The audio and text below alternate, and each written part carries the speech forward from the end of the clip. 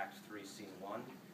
Uh, and a little background, uh, I'm, I'm King Henry, and I'm leading the English to take a castle, and we just got beaten back, and I'm trying to inspire them to go once more.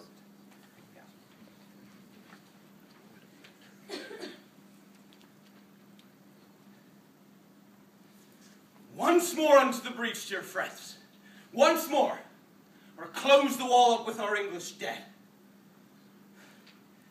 In peace, there is nothing so becomes a man as modest stillness and humility. But when the blasts of war blow in our ears, then imitate the action of the tiger. Stiffen the sinews, summon up the blood, disguise fair nature with hard-favored rage. Then lend the eye a terrible aspect. Let pride through the portage of the head like the brass cannon.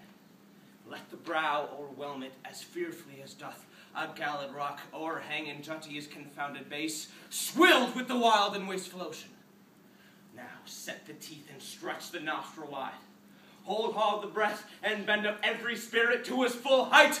On, on, you noblest English, whose blood is fed from fathers of war proof. Follow your spirit, and upon this charge cry God for Harry, England, and St. George.